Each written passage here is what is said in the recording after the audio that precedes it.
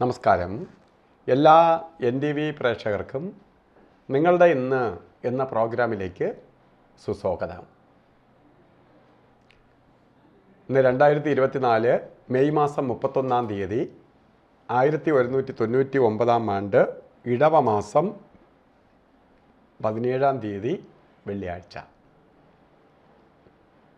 ഇന്ന് വെള്ളിയാഴ്ചയാണ്. പൂരുരുട്ടാതി നക്ഷത്രമാണ്. ഇന്നത്തെ നക്ഷത്രം ഏതാണ്? പൂരുരുട്ടാതി നക്ഷത്രമാണ് ഇന്ന്. പൂരുട്ടാതി നക്ഷത്രം വെള്ളിയാഴ്ച അതേപോലെ ശുഭപ്രദമായ ദിവസവും കൂടിയാണ് വെള്ളിയാഴ്ച.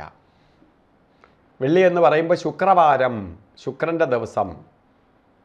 ശുക്രന്റെ ദിവസം സുഖപ്രദമായ അവസ്ഥകളെ പ്രദാനം ചെയ്യുന്ന ദിവസമാണ് ശുക്രവാരം. ശുക്രന്റെ ദിവസം.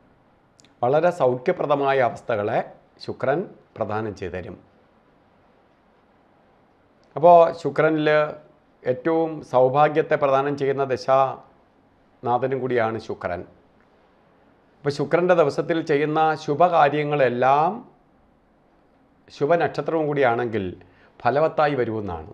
ഒന്ന് വാങ്ങാനാവട്ടെ അല്ലെങ്കിൽ നമ്മളൊരു ശുഭകാര്യങ്ങൾ ചെയ്യാനാവട്ടെ എല്ലാം അനുകൂലപ്രദമായ ദിവസമാണ് ശുക്രന്റെ ദിവസം. അപ്പോൾ ഇന്ന് ശുക്രന്റെ ദിവസവും ആയിട്ട് പുരുരുട്ടാതി നക്ഷത്രം ബർത്ത്ഡേ വന്നിട്ടുള്ളവർ ഇടവ മാസത്തിലെ പുരുരുട്ടാതി നക്ഷത്രം. ബർത്ത്ഡേ വന്നിട്ടുള്ളവർക്ക് ഇന്ന് ഭാഗ്യദായകമായ അവസ്ഥകൾ ഒരു വർഷത്തെ ഫലത്തെ ചിന്തിക്കുമ്പോൾ നിങ്ങൾക്ക് സംജാതമാവും. വാർഷിക ഫലത്തെയാണ് നമ്മൾ ജന്മനാൾ കൊണ്ട് ഉദ്ദേശിക്കുന്നത് വാർഷിക ഫലത്തെ ചിന്തിക്കുമ്പോൾ ഒരു വർഷത്തെ ഫലത്തെ ചിന്തിക്കുമ്പോൾ വളരെ ഐശ്വര്യപ്രദമായ അവസ്ഥകൾ നമുക്ക് സംജാതമാവും പ്രധാനമായിട്ട് ശുക്രന്റെ ദിവസമാണ്. അതുകൊണ്ട് ശുക്രനെ പ്രീതിപ്പെടുത്തി കൊണ്ടുപോകണം. കാരണം നിങ്ങൾക്ക് ഈ ഒരു വർഷത്തെ ഫലത്തെ ചിന്തിക്കുമ്പോൾ വിവാഹം നടക്കാത്തവർക്ക് വിവാഹം വിവാഹ ജീവിതത്തിൽ എന്തെങ്കിലുമൊക്കെ പ്രോബ്ലംസ് ആയിട്ടിരിക്കുന്നവർക്ക് അത് മാറി കിട്ടുക. അല്ലെങ്കിൽ ഭർത്താവ് അന്യസ്ഥലത്ത് ജോലി ചെയ്യുകയാണ് ഭർത്താവിനോട് അടുത്ത് പോയി അല്ലെങ്കിൽ വിദേശത്ത് നിൽക്കുകയാണ്. അദ്ദേഹം അവരുമായിട്ട് ചേർന്ന് നിൽക്കാൻ ആഗ്രഹിക്കുന്നവർക്ക് അതിന് അനുകൂലപ്രദം. ഭാര്യ വിദേശ നാട്ടിലാണ് ഭർത്താവ് വിദേശത്താണ് ജോലി ചെയ്യണത്. ഭർത്താവിന്റെ കൂടെ ഭാര്യയെ കൊണ്ടുവരണം എന്ന് ആഗ്രഹിക്കുന്നവർക്ക് അനുകൂലപ്രദമായ വർഷമാണ്. ഇതൊക്കെ ബർത്ത്ഡേ വന്നിട്ടുള്ളവർക്ക് ഒരു വാർഷിക ഫലത്തെ ചിന്തിക്കുമ്പോൾ അവർക്ക് അനുകൂലപ്രദമായ വർഷമാണ്. നിങ്ങൾക്കിതാ സംജാതമായിരിക്കുന്നു എന്നറിയുക. അപ്പോൾ എന്ത് ചെയ്യണം? നമുക്ക് ബർത്ത്ഡേ വന്നിട്ട് നമ്മൾ പ്രാർത്ഥന നിരതരായിരിക്കണം. ദേവിയെ പ്രാർത്ഥിക്കുക. ദേവീക്ഷേത്ര ദർശനം ചെയ്യുക. അമ്മയ്ക്ക് കുങ്കുമാർച്ചന രക്തപുഷ്പാഞ്ജലിയെ ഒക്കെ നടത്തുക. അതുപോലെ ചുവന്ന പട്ട് വാങ്ങി ദേവിക്ക് നടക്കി വയ്ക്കുക ഒക്കെ ചെയ്യുന്നതിനൊപ്പം ഇന്ന് എത്ര ദിവസത്തെ പ്രാധാന്യത്തെക്കുറിച്ച് ചിന്തിക്കുമ്പോൾ ഇന്ന് നമ്മൾ ഓരോ കാര്യങ്ങൾക്ക് ഇറങ്ങുമ്പോൾ പ്രധാനമായിട്ട് രാവുകാലം നോക്കി ഓരോ കാര്യങ്ങൾ ഇറങ്ങുക ഞാൻ രാവുകാലത്തിന് ഏറ്റവും കൂടുതൽ പ്രാധാന്യം കൽപ്പിക്കുന്നത് രാവുകാലത്തിൽ ഒരുപാട് കാര്യങ്ങളുണ്ട്. അപ്പോൾ രാഹു സർപ്പം പ്രകൃതിയിൽ ഉണർന്നിരിക്കുന്ന സമയത്ത് യാത്ര ചെയ്യുകയാണെങ്കിൽ പാമ്പ് ചുറ്റും പോലെ നമ്മളെ ചുറ്റിച്ച് കളയും. പോകുന്ന കാര്യങ്ങൾ സ്മൂത്തായി നടക്കത്തില്ല. അതുകൊണ്ടാണ് രാവുകാലത്തിന് പ്രാധാന്യം കൊടുക്കണേ. രാവുകാലം പത്തര മണി മുതൽ പന്ത്രണ്ട് മണി വരെ എന്ന് കലണ്ടറിൽ രേഖപ്പെടുത്തിയിട്ടുണ്ടെങ്കിലും പത്ത് മണി നാൽപ്പത്തേഴ് മിനിറ്റ് തൊട്ട് തുടങ്ങിയേ ഉള്ളൂ. അത് പന്ത്രണ്ട് മണി ഇരുപത് മിനിറ്റ് വരെ രാവുകാല സമയമുണ്ട്. ഈ സമയം ആകിലും യാത്രയുമായി ബന്ധപ്പെട്ട കാര്യങ്ങൾ ഒഴിവാക്കുക.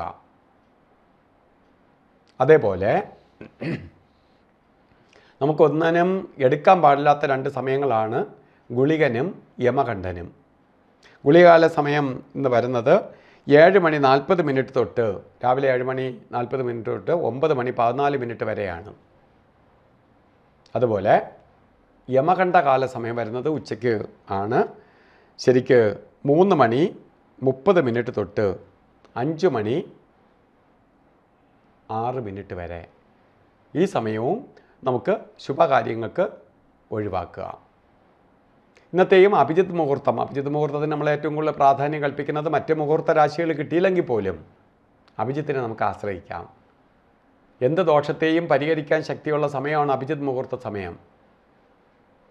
പതിനൊന്ന് മണി അമ്പത്തേഴ് മിനിറ്റ് തൊട്ട് പന്ത്രണ്ട് മണി നാൽപ്പത്താറ് മിനിറ്റ് വരെ അഭിജിത് മുഹൂർത്തത്തിന്റെ സമയമുണ്ട്. ഈ സമയവും നമുക്ക് സുഖപ്രദമായ ശുഭപ്രദമായ സമയമാണ്. ഇന്നത്തെ ദിവസം നമുക്ക് കൂടുതൽ ഭാഗ്യദായകമായി തീരാൻ വേണ്ടി ബർത്ത്ഡേ വന്നിട്ടുള്ളവരും അല്ലാത്തവരും ഈ ദിവസം വസ്ത്രധാരണത്തിന് പ്രാധാന്യം കൊടുത്ത് പോവുക. അതിൽ പ്രധാനമായിട്ട് വസ്ത്രധാരണത്തിന് പ്രാധാന്യം കൊടുത്ത് പോകുമ്പോൾ പ്രധാനമായിട്ട് നമുക്ക് ശ്രദ്ധിക്കേണ്ടത് ചുവന്ന വസ്ത്രം ധരിക്കണം ചുവന്ന വസ്ത്രം ചുവപ്പ് കളറ് നമ്മളെ വസ്ത്രധാരണത്തിന്റെ ഭാഗമാക്കുക. കാരണം ഒരു ഭാഗമായിട്ട് ചുവന്ന വസ്ത്രം നമുക്ക് ധരിക്കാം. കാരണം ഇപ്പം ഞാൻ തന്നെ ഇട്ടിരിക്കുകയാണെങ്കിൽ നമ്മൾ ചുവന്ന വസ്ത്രത്തിന് ചുവന്ന വസ്ത്രത്തിന് പ്രാധാന്യമുണ്ട്.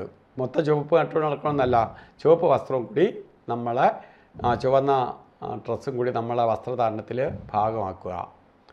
അത് ചുരിദാറായിട്ടായാലും ശരി അല്ലെങ്കിൽ ടോപ്പായിട്ടായാലും ശരി ബ്ലൗസ് ആയിട്ടായാലും ശരി ഷർട്ടിന്റെ ഭാഗമായിട്ടായാലും ശരി ഒന്നുമില്ല കുറിയായിട്ടൊരു നെറ്റിയിൽ ചുവന്ന പൊട്ട് ആയിട്ടായാലും ചന്ദന ശരിക്കും കുങ്കുമമായിട്ടായാലും ശരി അല്ലെങ്കിൽ ഒന്നുമില്ലെങ്കിൽ ഒരു കർച്ചീപ്പായിട്ടെങ്കിലും വസ്ത്രധാരണത്തിന് വളരെ പ്രാധാന്യമുണ്ട്. കാരണം പ്രകൃതിയിൽ നിന്ന് പോസിറ്റീവ് എനർജി നമ്മളിലേക്ക് ആകർഷിക്കാൻ വേണ്ടി സഹായിക്കും വസ്ത്രം അല്ലെങ്കിൽ കളറ്.